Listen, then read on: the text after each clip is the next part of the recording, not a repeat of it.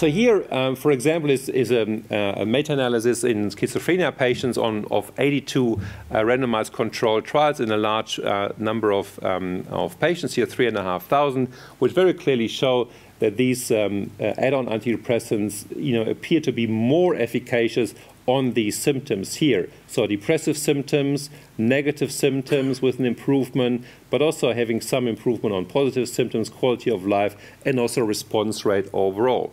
So it is relevant to say that antidepressants have a more broad effect potentially if added to antipsychotic uh, medication.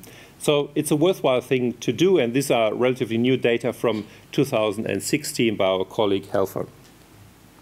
Now, agomelatine in, the, in that context, and we'll talk about you know, some of the, the relevant medication which were also introduced before as part of the Cipriani meta-analysis.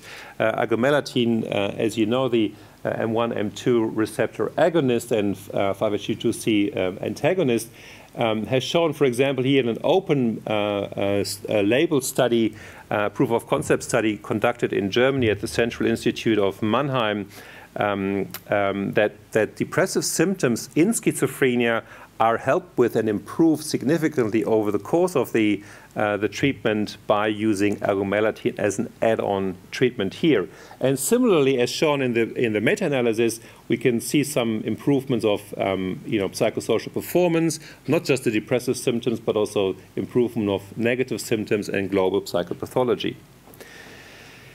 Now, using, um, as I said before, antipsychotic medication can induce some of the symptoms, but also at the same time, if we choose wisely, we potentially can also help with depressive symptoms in, uh, in schizophrenia patients.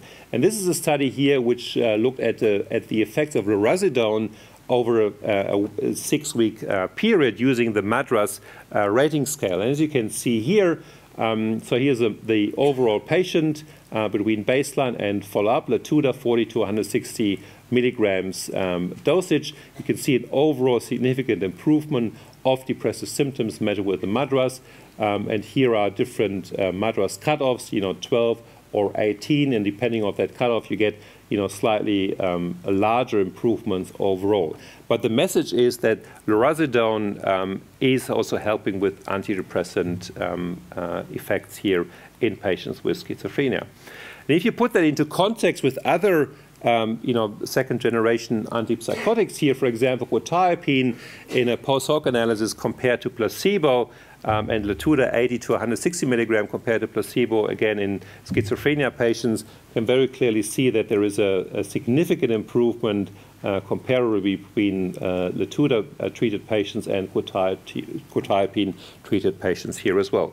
So we see that, that there is a, is a good effect um, if we um, use those types of medications to treat depression and anxiety symptoms. Now, the other really core business in, in treating um, or improving outcomes uh, in schizophrenia is looking at cognitive functioning. And cognitive impairment, as you would know um, from, from long-standing know, decades of research, is a core symptom in schizophrenia. The treatment of, of neurocognitive impairment has um, you know, gained a lot of attention, maybe more so from a cognitive remediation uh, point of view, from cognitive training point of view, which really goes back to the 1970s and 1980s when these concepts of treatments were introduced. Um, so it, it's, not a, it's not a novel approach to improve cognition.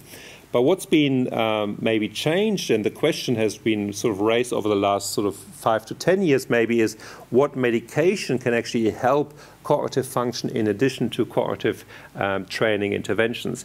So this is not to make people smarter with schizophrenia, but it's enhancing cognition helps also to improve social cognitive abilities, for example, facial recognition um, social interactions, so response to social cues using you know, uh, you know, better cognitive functions.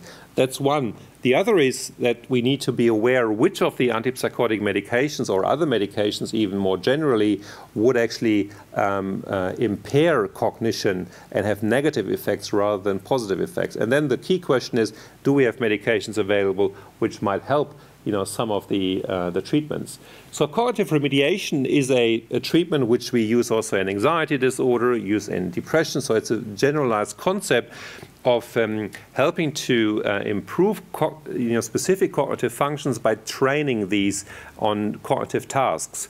Um, so it's, it's training a certain task, for example, memory, uh, concentration, uh, processing speed, they can be improved, and then they can also you know, help other cognitive domains as well.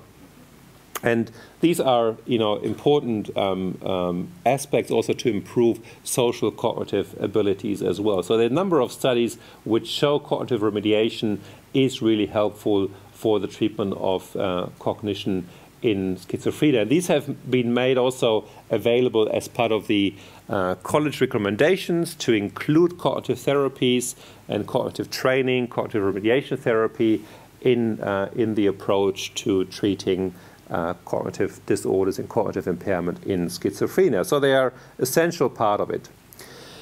Now, the other component, as I mentioned, is the, the effect of antipsychotic medication. And this is a study which looks at the overall lifetime dose of antipsychotic uh, medication and its effect or relationship, uh, better to say, because it's cross sectional, its relationship association with global cognition um, at sort of middle aged patients with schizophrenia.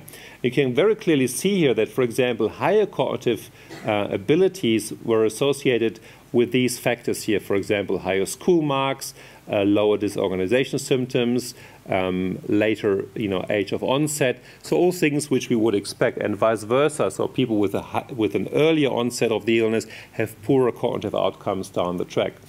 But also higher lifetime dose um, uh, of in years used antipsychotic medication were also associated with a lower age of illness onset, higher number of lifetime hospital treatments, which we expect as well, but also higher positive and negative symptoms as well as disorganization symptoms. So this is important to understand of how maybe certain medications can impact cognitive function.